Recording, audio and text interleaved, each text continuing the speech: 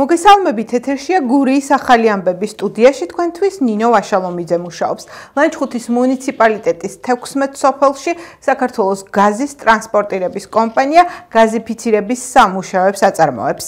გაზიფიცირების პროექტის თანახმად ჯამურად აშენდება 1097.988 გრძლივი მეტრის გაზსადენი და 2078 მოსახლე შეძლებს ისარგებლოს ბუნებრივი გაზით. გაზიფიცირების გეგმის ფარგლებში გურიის რეგიონის სამივე მუნიციპალიტეტის 29 დასახლებულ პუნქტში ამჟამად გაზიფიცირებისთვის საჭირო სამშენებლო სამუშაოები მიმდინარეობს, რომლის დასრულების შემდეგ 3893 აბონენტს მიეცემა ქსელში ჩართვის შესაძლებლობა. ლანჩხუთის მერი ალექსანდრე სარიშვილი საქართველოს გაზის ტრანსპორტირების კომპანიის გაზიფიცირების სამსახურის უფროსი კახადვალი გაზიფიცირების სამსახურის უფროსის მოადგილე გიორგი დემეტრაშვილი ადგილობრივი ხელისუფლების სხვა წარმომადგენლებთან ერთად მუნიციპალიტეტში გაზიფიცირების მიმდინარე სამუშაო პროცესს დაესწრნენ.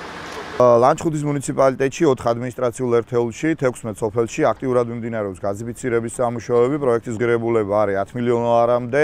ამ პროექტის დასრულების შემდეგ 3000 ახალი აბონენტი ჩაერთვება გაზიფიცირების ქსელში. აღსანიშნავია ის ფაქტი, რომ პროექტი ძალიან აქტიურად მიმდინარეობს და მუშაობა ძალიან აქტიურად მიდის და წლის ბოლომდე ლანჩხუთის მუნიციპალიტეტის არც ერთი ოჯახი არ იქნება გაზიფიცირების გარეშე. თავრობის შესაბამისი განკარგულების საფუძველზე ლანჩხუთის მუნიციპალიტეტის 16 სოფელში მიმდინარეობს გაზიფიცირების სამშენებლო სამუშაოები. 16 სოფლის საპროექტო სიგრძე არის 198000 გრძივი მეტრი, რომლის ღირებულებაც შეადგენს 9 მილიონ 600000 ლარ. გურიის რეგიონში 29 დასახლებულ პუნქტში მიმდინარეობს გაზიფიცირების სამუშაოები. წლების განმავლობაში არ ქონდა გაზი, ძალიან დატანჯულები ვიყავით. დიდი მადლობა ქალაქის მერიას, თელმის შემადგენლობას, მადლობას გიხდით თელი სოფელის სახელით. კოლეჯ ჰორიზონტში ბოლოს ზარი დაირეკა კურსდამთავრებულებს პროფესიული სასწავლებლის ადმინისტრაციამ გრანდიოზული გაცილება მოუწყო. 2020-23 წლის ინტეგრირებული პროგრამების კურსდამთავრებულთა პირველი ნაკადი გაუშვეს დღეს კოლეჯ ჰორიზონტიდან. სადღესასწაულო ბოლოს ზარი კურსდამთავრებულებისთვის სასწავლებელში მოსვლით და აუდიტორიასთან შეხვედრით დაიწყო. ეკრანზე ვიხილეთ ის სამი წელი, რომელიც სტუდენტებმა ჰორიზონტში წარმატებით გაიარეს. ელექტროობა, სარესტორნო საქმე, კომპიუტერული ქსელები და სისტემები. ამ პროგრამების კურსდამთავრებულებმა პროფესიასთან ერთად ზოგადი განათლების ატესტატთან გათანაბრებული დიპლომები მიიღეს. კურსდამთავრებულებმა ჯგუფურად 10 წუთიანი პრეზენტაციებით პროფესიულ სასწავლებელში შეძენილი ცოდნა ნამუშევრების სახით წარმოადგინეს და მანტიებისა და ქუდების ღირსეული მფლობელები გახდნენ. დარბაზში იდგა სიმბოლური ნატრის ხე, რომელზედაც ახალგაზრდებმა სურვილები შეაპეს. მოსწავლეებს გზა დაულოცეს პედაგოგებმა. დღის კულმინაცია კი ცაში აფრენილი ქუდები და სადღესასწაულო ტორტის გაჭრა იყო. ძალიან დიდი მადლობა მინდა გადაუხადო კოლეჯ ჰორიზონტ და თავის კოლექტივს ესეთი კარგი შესაძლებლობისთვის.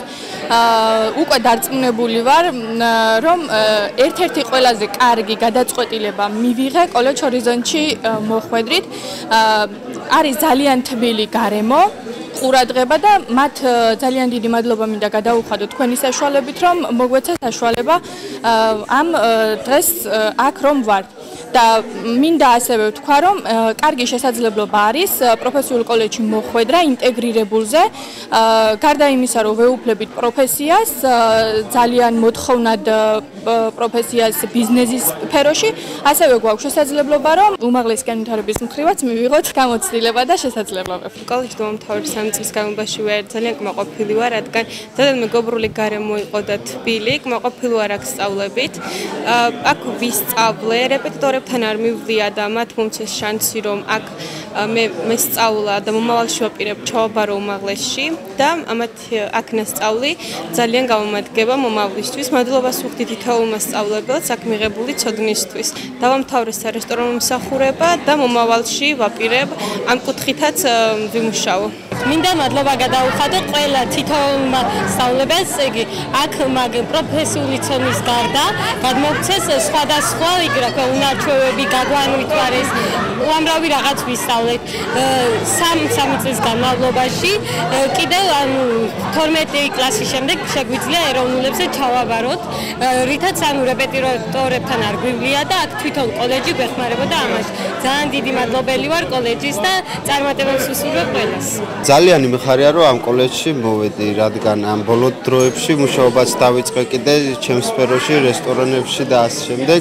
ძალიან კარგი და სასიამოვნოა უსურვებ ყველა ჩემ თანატოლს რომ მოვიდეს და დაამთავრო სფერო დღეს კოლეჯ ჰორიზონტში განსაკუთრებული საზეიმო განწყობაა. საზეიმო განწყობა არ ეკუთვნის მარტო კოლეჯ ჰორიზონტს, ეს არის თვითონ პროფესიული განათლების სისტემის ზეიმი, რადგანაც 16 წლიანი ჩიხურობის შემდეგ პირველად შეძლო პროფესიულმა განათლების სისტემამ ყოლოდა ისეთი კურსდამთავრებულები, რომელთა კვალიფიკაციის დიპლომი ქონდა ძალასრული ზოგადი განათლების. ეს იმას ნიშნავს, რომ სისტემაში 2020 წლიდან დაინერგა ინტეგრირებული პროგრამები. კოლეჯს ამ მიმართულებით ყავს სამ პროგრამაზე კურსდამთავრებულები. ეს არის ელექტროობის მიმართულება, კომპიუტერული ქსელების და სისტემების მიმართულება, სარესტორნო მიმართულება. სულ 34 კურსდამთავრებული. დღეს კურსდამთავრებულებს ელოდებათ ბევრი სიურპრიზი, განსაკუთრებული საზეიმო გარემო. მინდა ვისარგებლო შემთხვევით და მიმართო გურიის მოსახლეობას, სხვა კლას დამთავრებულებს, მათ მშობლებს, პედაგოგებს ისარგებლომ ან საუკეთესო ალტერნატივით, რაც იმას ნიშნავს, რომ სხვა კლას დამთავრებულებს შეუძლიათ პროფესიასთან ერთად მიიღონ საშუალო განათლებას, რაც წინა წლებში შეუძლებელი იყო. ეს შესაძლებლობა მოქცა ახალმა კანონმა პროფესიული განათლების შესახებ. მსურველებს კოლეჯ ჰორიზონტის სამივე ლოკაციაზე ველოდებით. ნამდვილად არაჩვეულებრივი შესაძლებლობა აქვს ჩვენს მოსწავლეებს, ჩვენ სტუდენტებს ამისა, რომ პროფესიასთან ერთად დაეუფლონ ასევე იმ საგნებს, რომელსაც საშუალო სკოლაში უნდა დაეუფლონ. იმ უნარებს და უნარჩვევებს ძირითადად, ხო? ამას ძალიან დიდი მნიშვნელობა აქვს.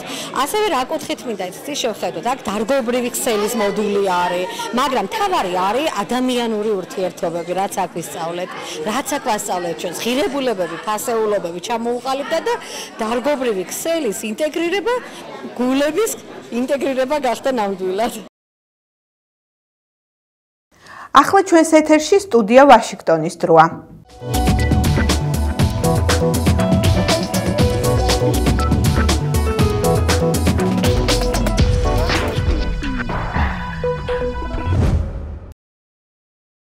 ეს კახოვკის წყალსაცავია, რომლის მიზან მიმართულმა აფეთქებამაც უკრაინას უდიდესი ზიანი მიაყენა. უკრაინა და რუსეთი ერთმანეთს აბრალებენ წყალსაცავის აფეთქებას.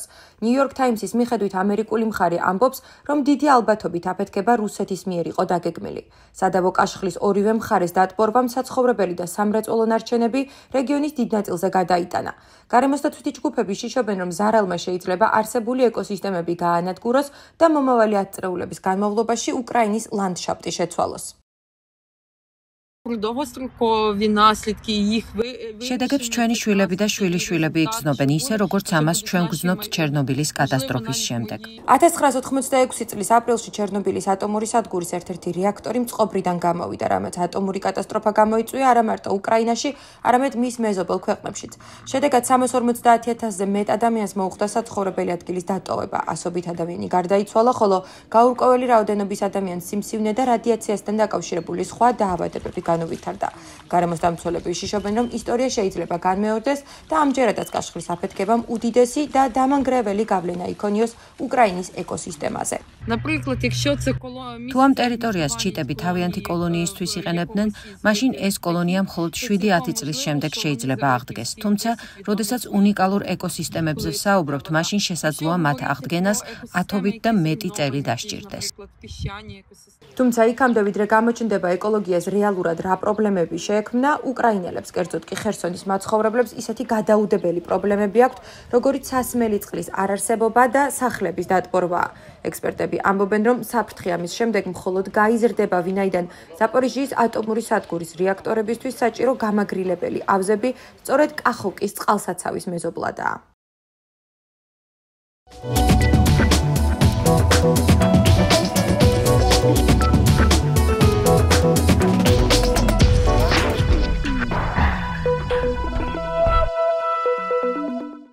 ეს გახდათ შემხელთ არსებული ბოლო ინფორმაცია. მე მომავალ შეხვედრამდე გემშვიდობებით, კარგად ბრძანდებოდეთ.